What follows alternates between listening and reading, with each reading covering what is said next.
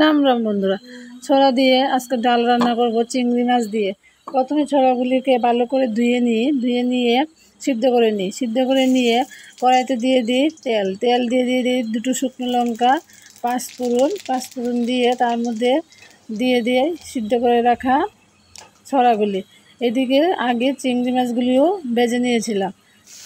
তারপরে কড়াইতে দিয়ে দিয়ে তার মধ্যে দিয়ে দিই হলুদ, দিয়ে দিই লবণ, দিয়ে অল্প একটু ভেজে নিয়ে তার মধ্যে দিয়ে দিই আবার আদা বাটা।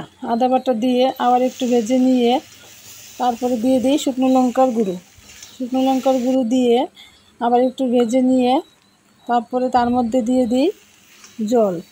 সম পরিমাণ জল দিয়ে ফুটে উঠলে তার মধ্যে দিয়ে দিই চেরা কাঁচা লঙ্কা।